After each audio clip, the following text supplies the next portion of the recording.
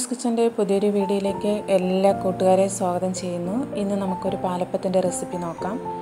അപ്പോൾ അതിനുവേണ്ടി ഇരുന്നൂറ്റമ്പത് എം എല്ലിന്റെ കപ്പിൽ രണ്ട് കപ്പളവിന് ഞാൻ പച്ചരി എടുത്തിട്ടുണ്ട്. അത് ഒരു ആറ് മണിക്കൂർ വെള്ളത്തിൽ കുതിർത്ത് കഴുകി എടുത്തു വെച്ചിട്ടുണ്ട്. അപ്പോൾ ഇനി ഇത് നമുക്ക് ഒന്ന് അരച്ചിട്ടെടുക്കണം. അപ്പോൾ അതിന്റെ പകുതിയോളം ഞാനൊരു മിക്സിയുടെ ജാറിലേക്ക് ഇട്ടിട്ടുണ്ട്. അതിലേക്ക് ഒരു കപ്പ് തേങ്ങ ഇട്ടിട്ടുണ്ട്. അതിൽ ഒരു മുക്കാൽ കപ്പ് വെള്ളം ഒഴിച്ചിട്ട് ഒന്ന് അരച്ചെടുത്തിട്ടുണ്ട്.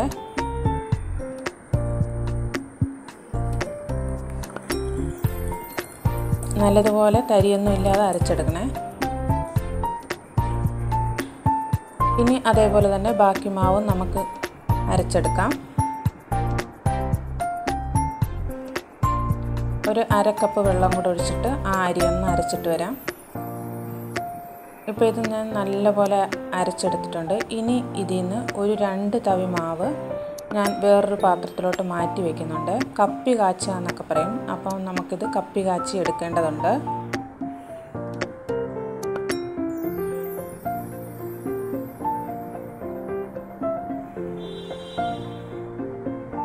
പണ്ട് നമ്മുടെ വീടുകളിലൊക്കെ അമ്മച്ചിമാർ ചെയ്യുന്ന ഒരു രീതിയിലാണ് ഞാൻ ചെയ്യുന്നത്.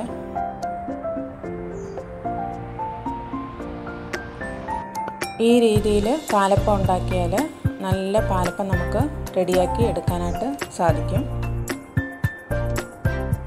ഇനി മിക്സിയുടെ ജാറിലേക്ക് ഒരു അര കപ്പ് വെള്ളം ഒഴിച്ചിട്ട് അതും കൂടെ ഇതിലോട്ട് ചേർക്കാം.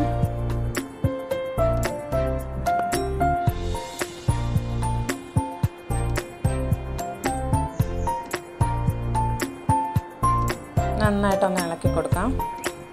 ഇപ്പോൾ രാത്രി എട്ട് മണിയായിട്ടുണ്ട്.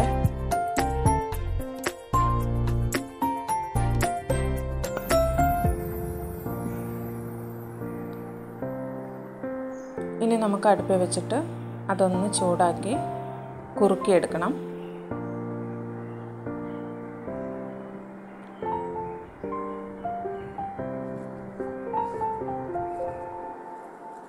ഇതിപ്പോൾ നല്ലവണ്ണം ഇവിടെ കുറുകി വന്നിട്ടുണ്ട്. ആ സമയത്ത് നമുക്ക് ഫ്ലെയിം അങ്ങ് ഓഫാക്കി കൊടുക്കാം. ലോ ഫ്ലെയിമിൽ വെച്ച് കുറുക്കിയെടുത്താൽ മതിയേ. ഇനി നമുക്കിത് തണുത്ത് കഴിഞ്ഞിട്ട് ഒരു മിക്സിയുടെ ജാറിലേക്ക് ഇട്ട് കൊടുത്തിട്ട് ഒരു ടീസ്പൂൺ ഈസ്റ്റ് ചേർക്കുന്നുണ്ട്. ഈസ്റ്റ് ചേർക്കുമ്പോൾ പ്രത്യേകം ഒരു കാര്യം ശ്രദ്ധിക്കുക.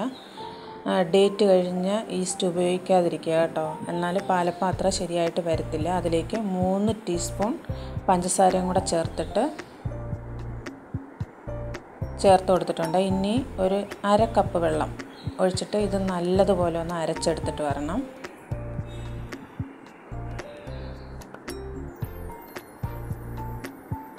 ഇതിപ്പോൾ ഇവിടെ ഞാൻ അരച്ചെടുത്തുകൊണ്ട് വന്നിട്ടുണ്ട്. ഇതിനി നമുക്ക് അരച്ച് വെച്ചിരിക്കുന്ന മാവിലേക്ക് ചേർത്ത് കൊടുക്കാം.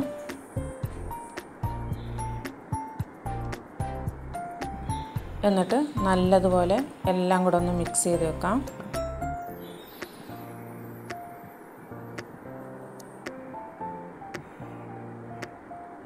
അപ്പോൾ നിങ്ങൾ മാവ് ഒഴിച്ച് വെക്കുമ്പോഴത്തേക്കും കുറച്ചും കൂടെ ഒരു വലിയ പാത്രത്തിലോട്ട് ഒഴിച്ച് വെക്കണേ. പിറ്റേ ദിവസം എടുത്തപ്പോഴത്തേക്കും നല്ലതുപോലെ അത് പുളിച്ച് പൊങ്ങി വന്നിട്ടുണ്ടായിരുന്നു.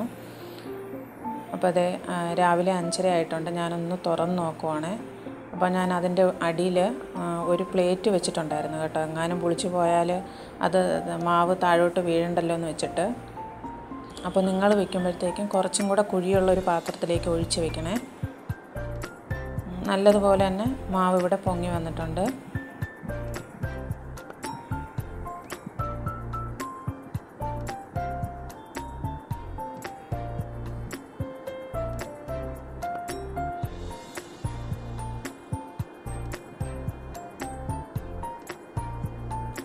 നമുക്കൊന്ന് മിക്സ് ചെയ്ത് കൊടുക്കാം. ഈ സമയത്ത് ഇപ്പം തന്നെ നിങ്ങൾക്ക് അത് അപ്പം ചുട്ടെടുക്കണമെന്നുണ്ടെങ്കിൽ ഉപ്പും പഞ്ചസാരയും ആവശ്യത്തിന് ചേർത്തിട്ട് ചുട്ടെടുക്കാം കേട്ടോ. ഞാനിപ്പോൾ ഇത് ഇപ്പം ചുടുന്നില്ല. കറിയൊക്കെ ആക്കിയിട്ട് കുറച്ച് നേരം കഴിഞ്ഞിട്ടേ ചെയ്യുന്നുള്ളൂ. അപ്പം കുറച്ച് ഇത് ഉപ്പും പഞ്ചസാരയും പിന്നെ ആവശ്യത്തിന് പഞ്ചസാരയും ഉപ്പും കൂടെ ചേർത്തിട്ട് നമുക്ക് മിക്സ് ചെയ്ത് വെച്ചിരുന്നാൽ കറിയൊക്കെ ആക്കി കഴിയുമ്പോൾ അത് ഒന്നുകൂടെ ഒന്ന് പൊങ്ങി വരും. എന്നിട്ട് ആ പത കോരിയിട്ട് വേണം നമ്മൾ പാലപ്പം ഉണ്ടാക്കാനായിട്ട്. അപ്പോൾ ഞാൻ അതിന് വേണ്ടി ഒരു മൂന്ന് ടീസ്പൂൺ പഞ്ചസാരയും ഒരു ടീസ്പൂൺ ഉപ്പും കൂടെ ചേർക്കുന്നുണ്ട്. നമ്മുടെ ഇവിടെ അപ്പത്തിന് കുറച്ച് മധുരമുള്ളത് ഇവിടെ നമ്മുടെ വീട്ടുകാർക്ക് ഇവിടെ ഇഷ്ടമാണ്. അതുകൊണ്ടാണ് ഞാൻ ചേർത്തത്. നിങ്ങൾക്ക് ഇത്രയും പഞ്ചസാര ചേർക്കണ്ടെന്നുണ്ടെങ്കിൽ പഞ്ചസാരയുടെ അളവ് കുറച്ചോളൂ. ഇനിയിപ്പം ഞാനത് നല്ലോണം ഒന്ന് മിക്സ് ചെയ്തിട്ട് അടച്ചു വെക്കുന്നുണ്ട്.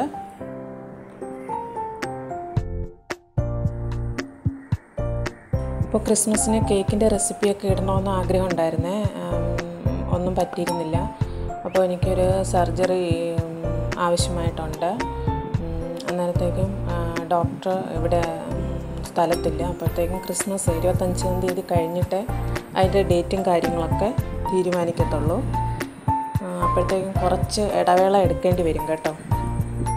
അപ്പോൾ വീഡിയോ സബ്സ്ക്രൈബ് ചെയ്യാതെ കാണുന്ന കൂട്ടുകാരുണ്ടെങ്കിൽ പ്ലീസ് ഒന്ന് സബ്സ്ക്രൈബ് ചെയ്യുക. അപ്പോൾ വേണ്ട ഞാൻ ചായക്ക് അടുപ്പ് വെച്ചിട്ടുണ്ടായിരുന്നേ. അപ്പോൾ ഒരു കയ്യിൽ എന്റെ ഫോൺ ഇരിപ്പുണ്ട്. ഫോണും കൊണ്ടാണ് ഞാൻ വീഡിയോ എടുക്കുന്നത്. ഓരോന്ന് ചെയ്യുകയും ചെയ്യും. മറ്റേ കയ്യിൽ ഫോണും ഉണ്ട് കേട്ടോ. അങ്ങനെ വീഡിയോ എടുക്കുന്നത്. അതാ ചില സമയം വീഡിയോ ഒന്നും ക്ലിയർ ആകാതെ കിട്ടുന്നത്. അപ്പോൾ മോൾ പ്ലസ് വണ്ണിന് പഠിക്കുവാണ് അവളെ എക്സാം നടന്നുകൊണ്ടിരിക്കുവാണ് അപ്പോൾ അവൾക്ക് ചായ കൊടുക്കാൻ വിചാരിക്കുന്നു.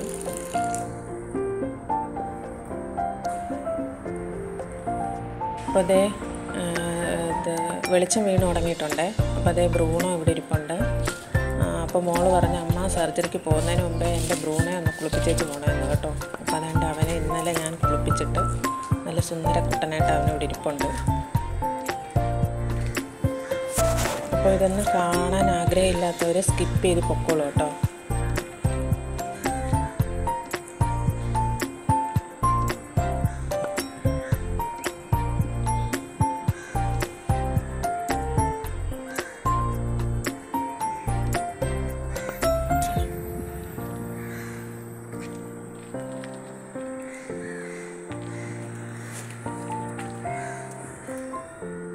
കഴിയുന്നത് പോലെയൊക്കെ വീഡിയോ ഇടാൻ ഞാൻ ശ്രമിക്കാം. അപ്പോൾ ബ്രൂണോ എവിടെ ഇരിപ്പുണ്ട്? ഇത് ഞാൻ നട്ട ഒരു മാവാണ്. അപ്പോൾ ഇത് ഒരു ആറ് വർഷമായിട്ടുണ്ട്. മൂന്ന് വർഷം ആകുമ്പോൾ കായ്ക്കുമെന്ന് പറഞ്ഞ് തന്ന ഒരു മാവാണ് കേട്ടോ അതിപ്പോൾ കായ്ച്ചിട്ടുണ്ട്. അപ്പോൾ അതിൽ നിന്ന് ഒരു അഞ്ചാറ് മാങ്ങ ഉണ്ടായിട്ടുണ്ട്. അപ്പോൾ അതിൽ നിന്നൊരു മാങ്ങ ഞാനെടുത്ത് പഴുക്കാനായിട്ട് വെച്ചിട്ടുണ്ട്. അപ്പോൾ അത് ഏത് ഇനമാണെന്ന് മനസ്സിലാകുന്നില്ല. അപ്പോൾ നിങ്ങൾ ഞാൻ വീഡിയോയിൽ അത് കാണിക്കാം. അത് മനസ്സിലാകുന്നവരൊന്ന് കമന്റ് ചെയ്യണേ.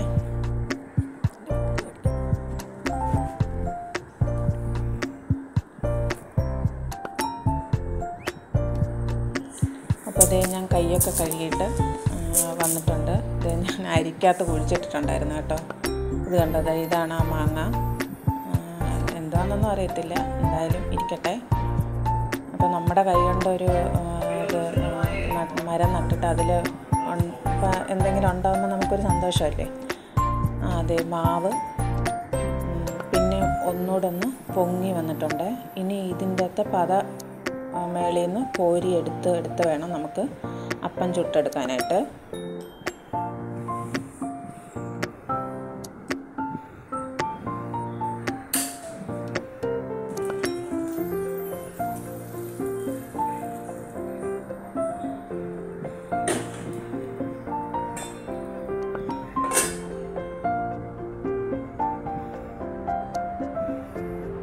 ഇതിന്റെ കൂടെ കറി ബീഫ് കുറുമയും ചിക്കൻ കുറുമയുടെയും വീഡിയോ ഞാൻ അപ്ലോഡ് ചെയ്തിട്ടുണ്ട്. അത് കാണാത്തവരുണ്ടെങ്കിൽ ഒന്ന് കണ്ടേക്കണേ.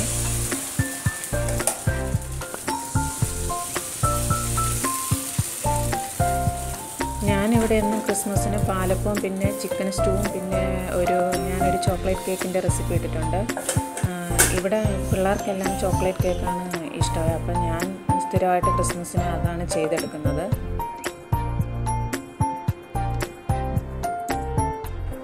അപ്പോൾ സർജറി എല്ലാം നല്ല രീതിയിൽ നടക്കാനായിട്ട് എല്ലാവരും എല്ലാവരുടെയും പ്രാർത്ഥനയിൽ എന്നെ കൂടെ ഒന്ന് ഓർക്കുക കേട്ടോ. അപ്പോൾ ഇതൊക്കെയുള്ളൂ എന്റെ ക്രിസ്മസ് വിശേഷങ്ങളെന്ന് പറയുന്നത്. അപ്പോൾ കുറേ നാളായിട്ട് ഞാൻ ഇതിന്റെ പുറകെ ബ്ലഡ് ടെസ്റ്റും കാര്യങ്ങളൊക്കെ ആയിട്ട് ഓടി നടക്കുകയായിരുന്നു. അപ്പോൾ ആർക്കെങ്കിലും മെസ്സേജ് അയക്കുമ്പോൾ റിപ്ലൈ തരാനൊക്കെ വൈകിട്ടുണ്ടെങ്കിൽ അതുകൊണ്ടാണ് വൈകിയിരുന്നത്. അപ്പോൾ അത് ആർക്കെങ്കിലും വിഷമമായിട്ടുണ്ടെങ്കിൽ ക്ഷമിക്കുക കേട്ടോ അപ്പോൾ മറക്കാതെ ചാനലൊന്ന് സബ്സ്ക്രൈബ് ചെയ്യുകയും കൂടെ ചെയ്യുക.